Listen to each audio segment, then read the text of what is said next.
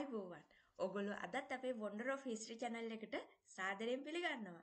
ඉති මම ගෙනවා ඉතිහාසයේ පුරා විද්‍යාව ඉගෙන ගන්න කැමතිවාට අලුත්ම මාතෘකාවක්. What type of method are used for the pottery analysis? මේ මැටි බහණ්ඩ විශ්ලේෂණයට භාවිතා කරන ක්‍රමවේද මොනවාද? එහෙනම් අපි බලමු අද මේ මාතෘකාව තුළින් ඔගොල්ලොන්ට දැනගන්න පුළුවන් මේ මැටි බහණ්ඩ විශ්ලේෂණය සඳහා භාවිතා කරන ක්‍රම මොනවද කියලා. ඉතින් අදත් මම මතක් කරනවා ඔයගොල්ලොන්ට මේ මගේ මේ channel එක Wonder of History channel එක තාම subscribe කරලා නැත්නම් subscribe කරලා අදම සම්බන්ධ වෙන්න යාළුවෝ අතර share කරන්න අමතක කරන්න එපා. ඉතින් අලුත් දේවල් ඉගෙන ගන්න open your mind learn new something හරි. අපි බලමු මොනවද මේ මැටි බහණ්ඩ විශ්ලේෂණය කියන්නේ කියලා. ඕගොල්ලෝ දන්නවද මැටි බහණ්ඩයක් කියන්නේ මොකද්ද? මේ මැටි බහණ්ඩ පුරාවිද්‍යා ස්ථානවලින් හොයා ගැනීම පිළිබඳව මම කතා කරලා තියෙනවා. ඒ වීඩියෝස් ඔයාලට බලලා නැත්නම් බලන්න පුළුවන්. ඉතින් මේ පුරාවිද්‍යාඥයෝ සාමාන්‍යයෙන් මේ සෙරමික් නැත්නම් මැටි බහණ්ඩ මේ කෞතුක වස්තු විශ්ලේෂණයේ විවිධාකාරයෙන් සිද්ධ කරනවා. එකක් තමයි පර්යේෂණාත්මක අධ්‍යයනයේදී සිද්ධ කරනවා. අනිත් එක තමයි ආකෘති සහ මේ ක්‍රියාශී ක්‍රියාකාරී විශ්ලේෂණයේදී ශෛලීය විශ්ලේෂණය සහ තාක්ෂණික විශ්ලේෂණය කියන දේවල් සිද්ධ කරනවා. එතකොට පර්යේෂණාත්මක අධ්‍යයනයේදී පුරාවිද්‍යා රසායනාගාරයේ මැටි බහඬ සෑදීමේ පැරණි ක්‍රම අනුගමනය අනුකරණය කරන කිරීමට උත්සාහ කරන. ඒ කියන්නේ එක්ස්පෙරිමෙන්ටල් ආකියොලොජි හරහා නැවත මේ දේවල් හදලා බලලා නිර්මාණය කරන්න උත්සාහ කරනවා මොන වගේ තාපයකින්ද මේක හදලා තියෙන්නේ මොන වගේ මැටිද මේ සඳහා යොදාගෙන තියෙන්නේ කියලා විවිධාකාරයේ විශ්ලේෂණ කටයුතු සිද්ධ කරනවා. මම මෙතනදී කතා කරන්නේ මේ පුරාවිද්‍යාවට මැටි බහඬ වැදගත් වෙන්නේ ඇයි කිය මේ මැටි බහඬ විශ්ලේෂණයේදී විවිධ ක්‍රම භාවිතා කරන මොන වගේ ක්‍රමද කියලා. ඔගොල්ලෝ දන්නවා මේ මැටි බහඬ පුරාවිද්‍යා ස්ථාන වලින් වැඩි වශයෙන් අපිට හම්බ වෙනවා. ඒකට හේතුව තමයි මේ කෞතුක වස්තුවන්නේ විශේෂයෙන් අපිට හම්බ වෙන්නේ මැටි බඳුන. ඉතින් මැටි බඳුනක් කියන්නේ මේ කැඩුණු මැටි කැබලි අපිට මේ ස්ථානවලින් වැඩි වශයෙන් හොයාගන්න පුළුවන්. කොට මේ දේවල් පුරාවිද්‍යාඥයන්ට හොඳ මාර්ගෝපදේශයක් නැත්තම් හොඳ අවස්ථාවක් ඉදිරියට මේ කටයුතු කරගෙන යන්න. මොකද මේවා වඩාත් ප්‍රයෝජනවත් සොයා ගැනීමක් බවට පත් වෙනවා. මේ මැටි බහන්න හරහා අපිට පැරණි සමාජය නැත්තම් පුරාවිද්‍යාව කොහොමද මේක ඒ කියන්නේ මේ මැටි බහඬ අධ්‍යයනය තුළින් ඓතිහාසික ස්ථාන කැණීම් තුළින් සොයාගන්න ලද මේ කෞතුක වස්තු තුළින් කොහොමද පැරණි සමාජය නියෝජනය කරන්නේ කියලා. ඉතින් අධ්‍යයනයේදී නිශ්චිත අරමුණු සහ අනුව මැටිබඳුන් විශ්ලේෂණයේ විවිධ ක්‍රම අපිට දැක ගන්න පුළුවන් වෙනවා. ඒකට මේ මැටි බහඬ විශ්ලේෂණයේ භාවිතා කරන පොදු ක්‍රම කීපයක් තමයි මම අද මේකෙදි කතා කරන්නේ. එතකොට අපි ගත්තහම ස්ටයිලික් ඇනලිසිස් කියන එක ස්ටයිලිස් ඇනලිසිස් හරහා අපිට කරන්න පුළුවන් මේ ශෛලීය විශ්ලේෂණය හරහා මේ පිගම් බහන්නවල මොන වගේ අලංකාර අංගද යොදාගෙන තියෙන්නේ. ඇසේ මේකට භාවිතා කරලා තියෙන ප්‍රාථමික ශිල්පීය ක්‍රම භාවිතා කරලා තියෙනවද නැත්නම් ඊට වඩා වැඩි ශිල්පීය ක්‍රම භාවිතා කරලා ඒ කියන්නේ දියුණු යුගයකද මේක නිර්මාණය කරලා තියෙන්නේ කියලා අපිට හඳුනා ගන්න පුළුවන්. එතකොට ශෛලීය. මොකද මුල් කාලේ ඇත්තටම සකපෝරු දැන් හැමෝම දන්නවා සකපෝරුවක් කියන්නේ වල නිර්මාණය කිරීම සඳහා මැටිබඳුන් නිර්මාණය කිරීම සඳහා යොදාගත්ත දෙයක්. ඉතින් මේක මුල් කාලේම මුල්ම කාලේ යොදාගෙන නැහැ. අපිට රතු මැටිබඳුන් රතු සහ කළු මැටිබඳුන් කළු මැටිබඳුන් කියන දේවල් අපිට හඳුනා ගන්න පුළුවන් වෙනවා පුරාවිද්‍යා අධ්‍යයනය කරන ශිෂ්‍යයෙක් නම් ඒ පිළිබඳව යම් දැනුවත් භාවයක් තියෙනවා නම් අපි දන්නවා රතු කළු මැටි මදුන් රතු බඳුන් කියලා අපිට විවිධාකාරයේ මැටි බඳුන් වර්ග හඳුනා ගන්න පුළුවන් වෙනවා. මොකද ඒ තියෙන තාපය භාවිත මේ භාවිතා කරලා තියෙන ක්‍රම අනුව පිච්චිලා තියෙන ක්‍රමේ අනුව අපි කියනවා මේක රතු මැටි බඳුනක් මේක රතු කළු මැටි බඳුනක් කියලා අපි හඳුන්වා දෙනවා. එතකොට මේ දේවල් මේ සහ මේ ශෛලිය අනුව කාල සීමා අපිට මේ ටයිපොලොජි භාවිතා කරලා අපිට කියන්න පුළුවන් මෙන්න මේක මෙන්න මේ කාලෙට අයිති වෙනවා කියලා.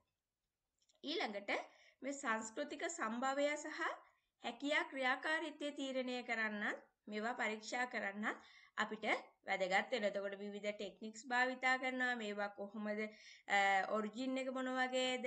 කල්චර් එක මොන වගේද? ටෙක්ස් ටෙක්නික්ස් මොන වගේද භාවිතා කරලා තියෙන ස්ටයිල් මොන වගේද භාවිතා කරලා තියෙන්නේ සහ මේ හරහා විවිධ දේව ශෛලී හරහා කොහොමද මේ දේවල් කර මේ නිර්මාණය වෙලා තියෙන්නේ? ශෛලිය විශ්ලේෂණය තුළින් මේ දේවල් අවධාරණය කරගන්න උත්සාහ කරනවා. ඊළඟට අපි ගත්තහම මේ රසායනික විශ්ලේෂණ ක්‍රම. මේ රසායනික විශ්ලේෂණ ක්‍රම හරහා විවිධ තාක්ෂණීක ක්‍රම භාවිතා කරනවා. ඔගොල්ලෝ දන්නවා X-ray fluorescence SRF සහ නියුට්‍රෝන සක්‍රිය කිරීමේ විශ්ලේෂණය තුළින් වැනි විවිධ ශිල්පීය ක්‍රම හරහා භාවිතා කරලා මේ මැටි බඳුන් කොහොමද නිෂ්පාදනය කරලා තියෙන්නේ කියලා හඳුනාගන්න සහ මැටිවල මූලද්‍රව්‍ය සංයුතිය තීරණය කරන්න මේ කෙමිකල් ඇනලිසිස් එක සිද්ධ කරනවා. එතකොට රසායනික විශ්ලේෂණය සිද්ධ කරන්නේ ඇත්තටම මේ මැටි භාණ්ඩවල නිෂ්පාදනය කොහොමද සිද්ධ වෙලා තියෙන්නේ සහ මේ මැටි භාණ්ඩවල මූලද්‍රව්‍ය මොන වගේද භාවිතා කරලා තියෙන්නේ මොන වගේ මූලද්‍රව්‍ය සංයුතයක්ද මේකේ තියෙන්නේ කියලා තීරණය කරන්න මේ කෙමිකල් ඇනලිසිස් එක සිද්ධ කරනවා. ඊළඟට අපි ගියපුවාම මිනරොලොජිකල් ඇනලිසිස් මේ khනිජ විද්‍යාත්මක විශ්ලේෂණය නැත්නම් මිනරොලොජිකල් ඇනලිසිස් වලදී ප්‍රධාන වශයෙන්ම මේ මැටි බහණ්ඩ සංයුතිය අධ්‍යයනය කරනවා සහ විශේෂිත මැටි සහ මේවා සකස් කරන ලද ද්‍රව්‍ය හඳුනා ගැනීමට මේ පාෂාණ විද්‍යාව හරහා X-ray XRD ඒ කියන්නේ මේ පවුඩර් X-ray diffraction XRD වැනි ශිල්පීය ක්‍රම භාවිතා කරනවා. මේක මේ සඳහා මේ සාම්පල් ලබා ගන්න ඕනේ සාම්පල් ලබා ගැනීමේදී ඇත්තටම හානිදායක වන අවස්ථාවක් නමුත් මේව නැවත භාවිතා කරන්න පුළුවන් මේකෙදි. නමුත් XRF X-ray fluorescence භාවිතා කරද්දී ඇත්තරම රසායනික විශ්ලේෂණයේදී හානියක් වෙන්නේ නැතුව අපිට මේවා අධ්‍යයනය සිද්ධ කරන්න පුළුවන්. ඒක නම් විවිධාකාරයේ පුරාවිද්‍යා විශ්ලේෂණ කටයුතු වලදී මේ දේවල් භාවිතා කරනවා. ඊළඟට ක්‍රොනොලොජිකල් ඇනලිසිස් ඔගොල්ල හැමෝම හැමෝම දන්නවා මේ කාලානුක්‍රමික විශ්ලේෂණය. අපි කාබන් ඩේටිං කරලා තියෙන ඒවා සහ මේ අපේ ටයිපොලොජි එකක් අපි හදාගෙන දෙනවා මෙන්න මේ කාලේ මෙන්න මේ මේ විදිහට වර්ධනය වුණා කියලා මැටි බහන්න නිෂ්පාදනය සහ මේ වගේ ශෛලීය ලක්ෂණ මොන වගේද වර්ධනය වුණේ කියලා අපි තීරණය කරලා අපි ටයිපොලොජියක් හදාගෙන තියෙනවා. ඉතින් මේක ක්‍රොනොලොජිකලි ඇනලයිස් කරනවා කාලානුක්‍රමික විශ්ලේෂණයේදී මේ පිගම් භාණ්ඩවල නැත්තම් මැටි භාණ්ඩවල ආසන්න වයස තීරණය කිරීම සඳහා තාප විදුලි කාල නිර්ණය හෝ රේඩියෝ කාබන් කාල නිර්ණය වැනි ක්‍රම භාවිතා කරනවා. එතකොට තර්මෝලුමිනන්සස් ඩේටිං ක්‍රමය හෝ නැත්නම් රේඩියෝ කාබන් ඩේටිං ක්‍රමය භාවිතා කරනවා මේ ක්‍රොනොලොජිකල් ඇනලිසිස් වලදී. එතකොට අපිට මේක කාලානුක්‍රමිකව කොහොමද සිද්ධ වුනේ කියලා අඳුර ගැනීමේ හැකියාව තියෙනවා. ඊළඟට use where analysis. use where analysis කියපුවහම මේ භාවිතා කිරීම කොහොමද මේ භාවිතා කිරීමේදී මොන වගේ දෙයක්ද කරේ කියලා අපිට විශ්ලේෂණය කරන්න පුළුවන්. එතකොට පිගම් මහණ්ඩ වල තියෙන මේ රටාවල් මොන වගේද? ඊළඟට මේ මේ වගේ තියෙන අවශේෂ දැන් අපිට හඳුනා ගන්න පුළුවන් වෙනවා මේ වගේ ඇතරම මේක උයන්න භාවිතා කරපු එකක් නම් ඒ වගේ ඉතුරු වෙලා තියෙන්න පුළුවන්. ආහාර කැබලි වගේ දේවල් ඒව හරහා පුළුවන්. ඊළඟට මේ දේවල් මේ මැටි භාණ්ඩ වලට සපයාගත්ත මැටි අතර යම්කිසි ආහාර ද්‍රව්‍ය රැඳිලා තියෙන්න පුළුවන්. ඒවා නැත්තම් අපි ගත්තොත් ශාක සීට් වගේ දේවල් අපිට මේ දේවල් වලදී හඳුරගන්න පුළුවන්. එතකොට මේවත් අපිට විවිධාකාරයේ අවශේෂ සහ අනිකුත් භෞතික සාක්ෂි පරීක්ෂා කිරීමෙන් පර්යේෂකයන්ට මේ මේ විශ්ලේෂණය කරන්න හැකියාව තියෙනවා. එතකොට මැටි බහණ්ඩ අධ්‍යයනය කිරීමේ ක්‍රමයක් විදිහට යුස්වි ඇනලිසිස් අපිට භාවිතා කරන්න පුළුවන්.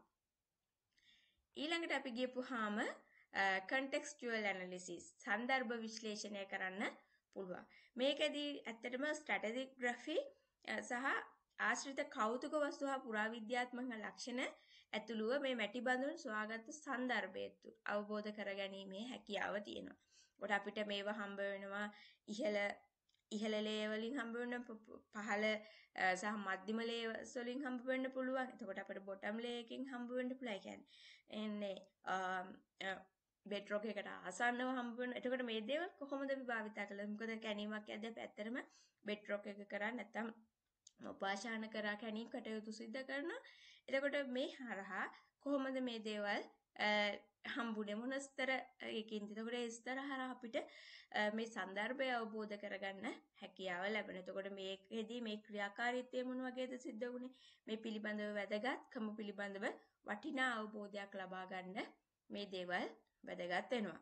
ඉතින් ඇත්තටම අපි ගත්තාම පුරාවිද්‍යාව කියන්නේ මේ මැටිබඳුන් පිළිබඳව අධ්‍යයනය ගැඹුරටම සිද්ධ කරන්න පුළුවන්. මේ හරහා අපිට සමාජය මොන වගේද තිබෙන්නේ මේ සාම්පල් කොහෙන්ද සපයාගත්තේ වගේ විශාල පර්යේෂණයන් කරා යන්න සහ මේ මේ තුලින් අධ්‍යයනය පරාස පුළුල්ව විහිදලා යන්න වර්තමානයේ වෙදී සමත් වෙලා තියෙනවා. ඉතින් ඒ දේවල් පොටරි කියන දේ නැත්තම් මේ මැටි බඳුන් කියන දේ ඇත්තටම මානව ඉතිහාසයේ ප්‍රධාන සලකුණක් විදිහට අපිට හඳුන්වලා දෙන්න පුළුවන්.